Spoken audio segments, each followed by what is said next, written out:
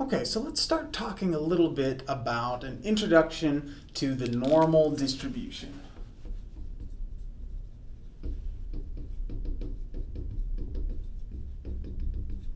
Okay, so this is kind of our first entry into a kind of a typical distribution. The normal distribution is also known as a Gaussian distribution, or maybe even more commonly as a bell curve.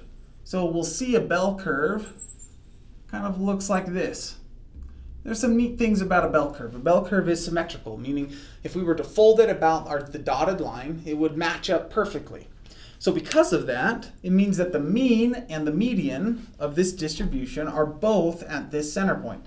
And we're really going to focus on the mean. So we've talked a little bit too about the standard deviation. It talks about like how far away from the mean are we. To draw a fully defined normal distribution, we only need two pieces of information. We need to know what the mean is, and we need to know what the standard deviation is. Now, what's really neat is that a uh, normal distribution, we can find where the standard deviation is by finding the inflection point. So if you remember back from geometry, inflection points are where a curve switches from concave up to concave down or from concave down to concave up. So we can draw this really easily. So I'm just going to do a little dot there and a little dot there, and that is one standard deviation away from the mean, either above or below. And now that I know how big the standard deviation is, I can take it in steps. So there's two standard deviations, two standard deviations, go out a little further, three standard deviations, and three standard deviations.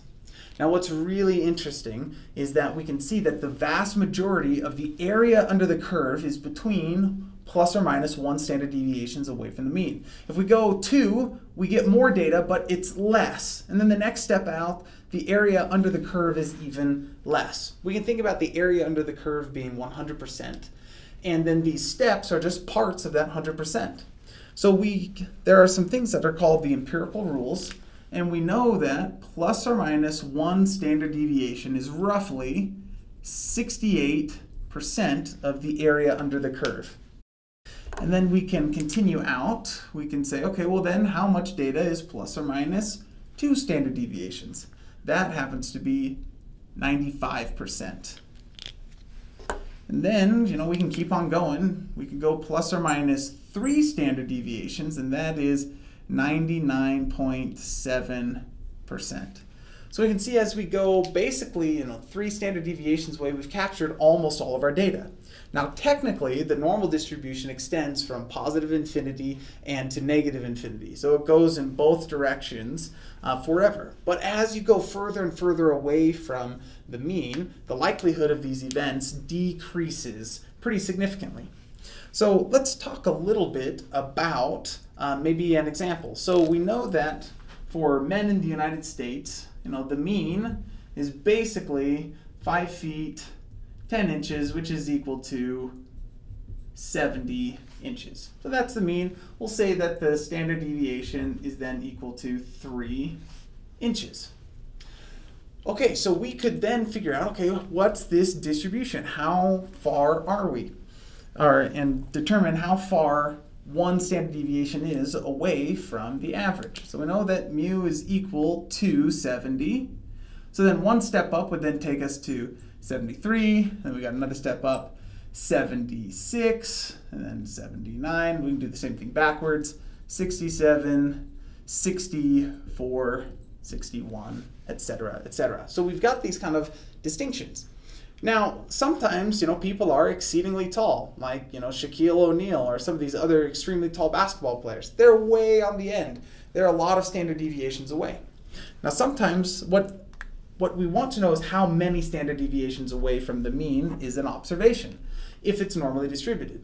So if we're a lot of standard deviations away, we could say, hey, this observation is pretty weird.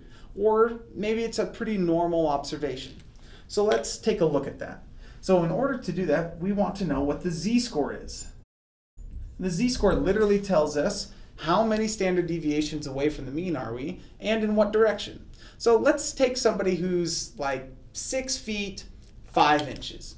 So they would be 77 inches. Um, so that would be our measurement. X equals 77 inches. And we want to know how strange of an occurrence that is. Well, the z-score tells us how many standard deviations away we are. That would be equal to x minus mu divided by sigma, the number of standard deviations away we are from the mean.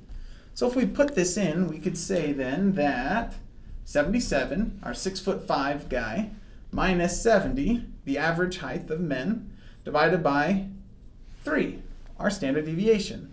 That would equal then 7 divided by 3, which is equal to 2.33. So he's two, over two standard deviations away. One, two, and just a little bit more. And we see that he's pretty rare.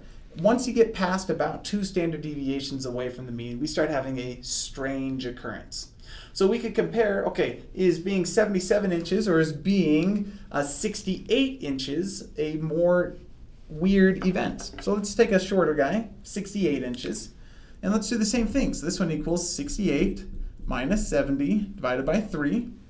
That one's going to equal negative 2 divided by 3, which equals negative 0.667.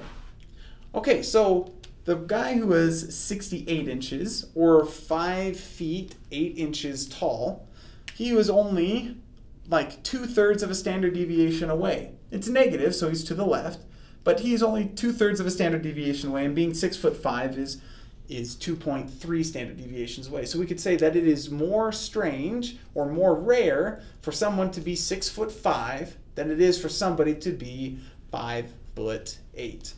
And then we can take these and also use the z-score to help us know if, like, um, compare scores from different years of tests and try to standardize uh, those comparisons. But we can say, basically, the distance away from the mean that you are in terms of number of standard deviations can let you know how rare of an occurrence an event is.